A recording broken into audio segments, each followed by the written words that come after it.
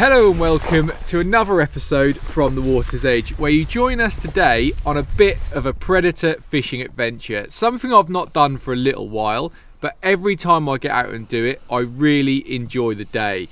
So we're really lucky here in Norfolk, we've got quite a lot of water to attack and hopefully a few perch, a few pike is the order of the day. So we're at the first spot now, plenty of others to try throughout the day. I'm going to get the rest of the gear sorted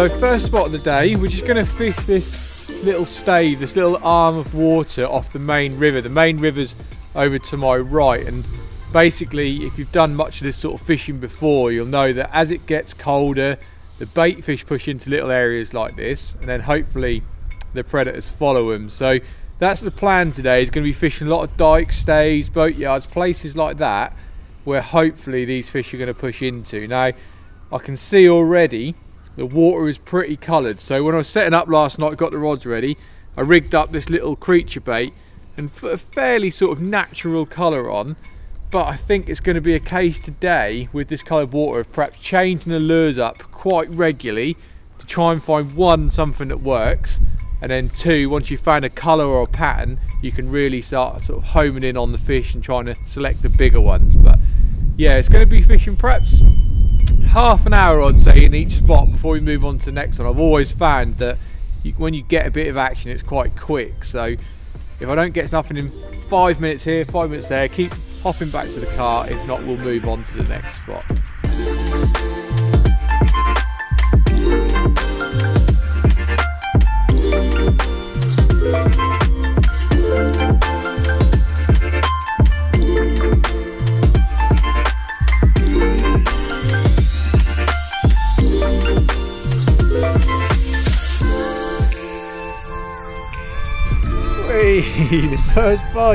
He's not going to break any records, but we had a little lure change up and one has grabbed hold. We went with a little tiny salt and pepper spiky shad. One I've had in my box for absolutely ages. And like I said, he certainly isn't going to break any records, but at least we've had a bite. And like I said, at least we now know one particular lure works and this little spot holds some fish as well. He's not happy though with his fin up. Proper little aggression. You can see why they smash these lures.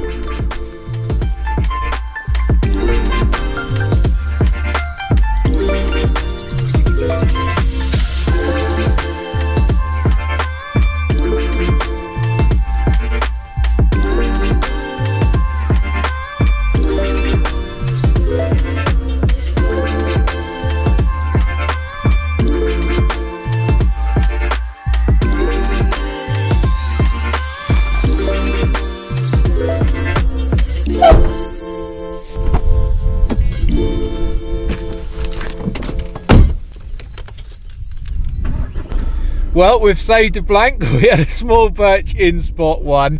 I don't think it's going to be easy today. The conditions are tough. But I can tell you one thing, we're back in the car now. The heating is going on max because it is freezing out there in that wind. I've nearly lost the use of my hands. But there's plenty of other spots to try. So we're going to get on and see what they're saying now.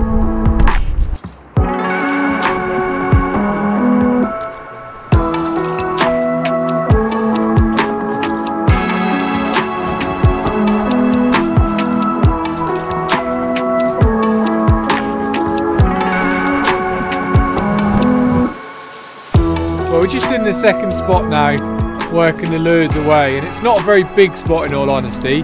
We'll probably only be here 20 minutes, half an hour, but I've already started at the end of this sort of small 100 yard stretch at a road bridge. I've worked the lures all the way along there, just along this bank really, sort of all the fishing is this close side, and at the moment nothing here, but it's just going to give it another perhaps 10 or 15 minutes, keep working these lures, perhaps do another lure change, see if anything comes along.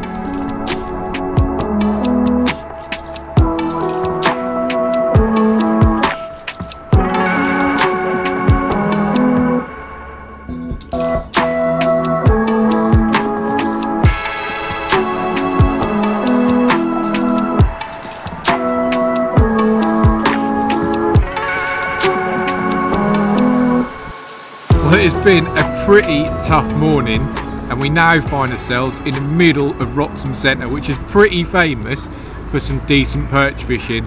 I knew conditions were going to be hard but perhaps not quite this hard. Expect a few more fish by now but stopped off some lunch, all important sausage and chips to get us going for the rest of the afternoon and then we're going to get these in us and get back fishing.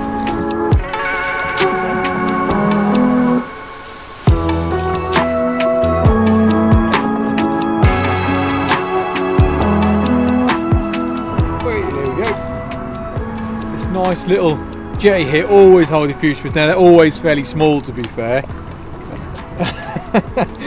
oh no, this just about sums up today. It's not even a perch or a pike, it's a rudd. well, actually quite a nice rudd and I have caught roach and bream before on jig heads. I've never caught a rudd, so that's a first. You can see he's nailed that just a little three gram jigger we scaled right down and we're actually just trying to catch little wasps little tiny perch because it's been so hard. But yeah as I said that really does sum it up doesn't it? Catching a rudd on a predator day.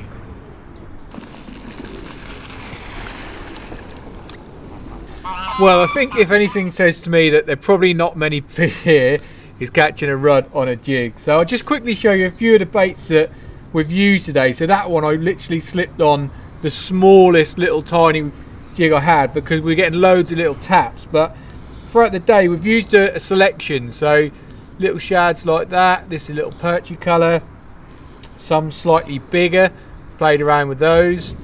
But most of the day I've tried to be catching on these creature baits and they're probably my favourite to be fair in loads of different colours we've tried as well and We've had a few little knocks, but no hookups, and it's just been a real frustrating day, I think.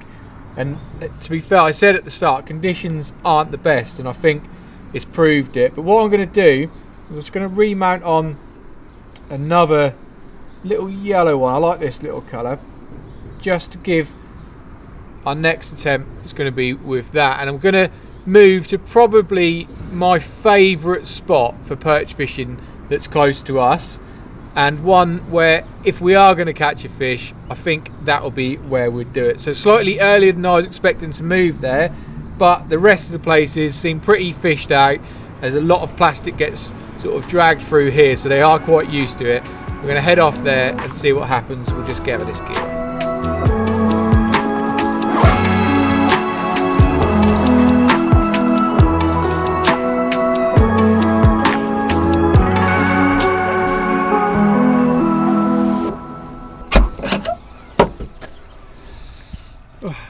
days like this where you definitely need your favourite spot to produce the goods.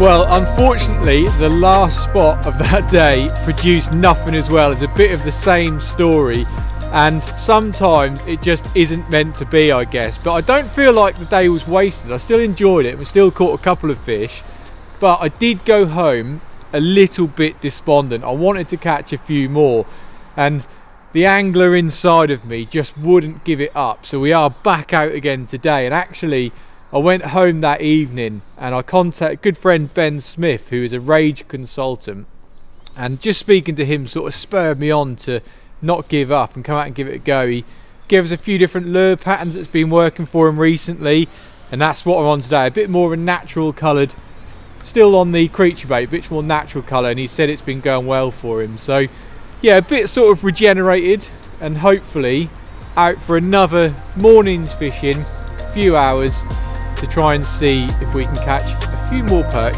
than we did on day one.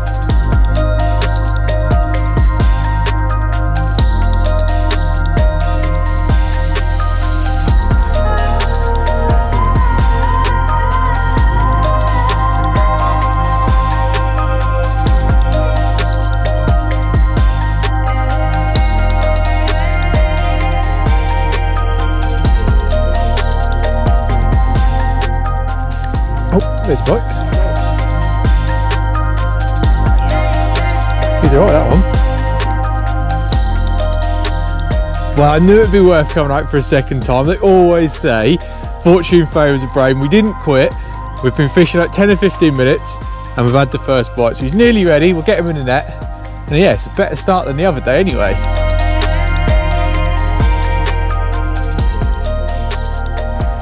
There you go, you can see the creek bait of his mouth. But yeah, like I said, an awful lot better than what we had the other day. I really did get a bit, a bit despondent there when we tried everything, fish for so long, and it just, just proves that you've got to come out and keep trying. A different spot today, slightly changed the lure up, still a creature bait, but different colour, and certainly a better start to the morning. So we'll get this one slipped back, a few more casts in this spot before we head off somewhere else, but certainly looking a bit brighter.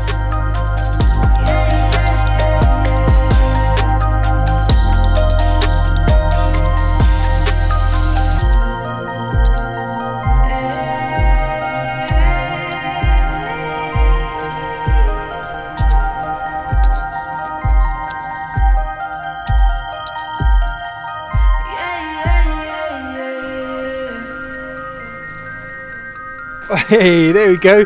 They're like buses these when you find a little spot of fish. There's two come around together. This one looks a similar sort so maybe a touch bigger actually. Well, there we can go. You can see the creature bait still in his mouth there. He absolutely nailed that one. And yeah, like I said with the first one, after a pretty frustrating day the other day, it's nice to come out in the morning and catch a couple of fish. The sun is now burning off this mist so I think we've caught it absolutely perfectly and the fishing may get a little bit harder from here on in. But to be honest with you I've sort of wanted to come out and catch a couple of fish and I've done it so I feel an awful lot better. But we'll get this one unhooked we'll get him slipped back and we'll see if there is any more about well it was certainly nice to have a couple of better fish and I feel a bit of reward for our efforts we put in the other day. It goes to show that you know what they are willing to feed they certainly are catchable. But we just moved to a new little spot and to be honest with you the sun has really burnt off that mist and it's not looking great for another fish. But we are only ever coming out for a couple of hours fishing so making the most of it, fishing early mornings, late evenings is often a good idea. But what I will just quickly talk you through is the retrieve that we've been using for these particular creature baits that I've fished today. So one that I would probably say if you are new into it or you've not done it before is keep it nice and simple but definitely change it up and see if you can find something like quicker, sometimes like it's slower. But all I've done pretty much today there's sort of a twitch and a draw. You let it sink. Feel it hit the bottom. Pause for about 10 5 10 seconds and then repeat that process. A lot of times you find you get the hit just on the pause. So it's quite important to mix that up see if there's any difference and then if you get those whacks hit them on those pause but we're going to fish away for the next 15 minutes perhaps. See if there's anything here. If not we'll move on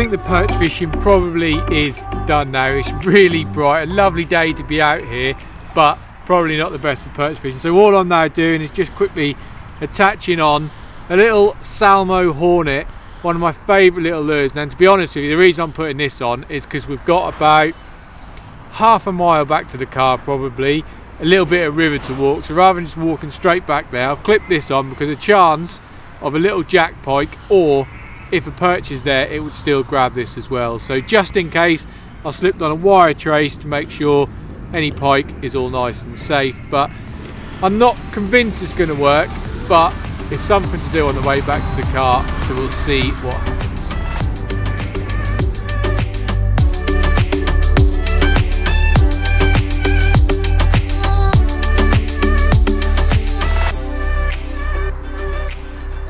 Whoa! That was right under my feet.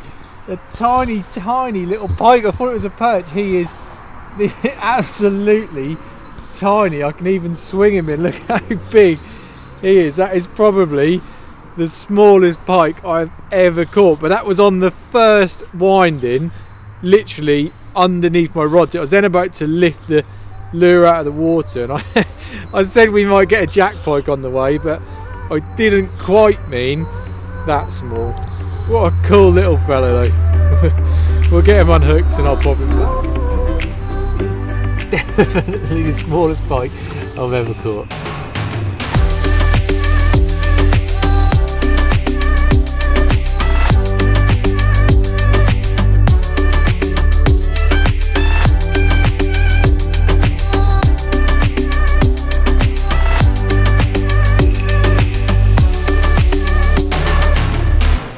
Well, we have fished all the way up this stretch now and we're at the last spot. The sun is well and truly beaten down. Everyone has come out to enjoy it. You can tell the weather's warming up. It's really busy now. So it's going to be our cue to head off home. But it's a great way of fishing. It's really travelling light, visiting a few different spots and it's really nice to catch those slightly bigger perch earlier and then to finish on that little micro pike was a new PB for the smallest reason not for the biggest but all enjoyable all the same. So if you like your predator fishing give the video a like. As always don't forget to subscribe and we'll see you again on the next one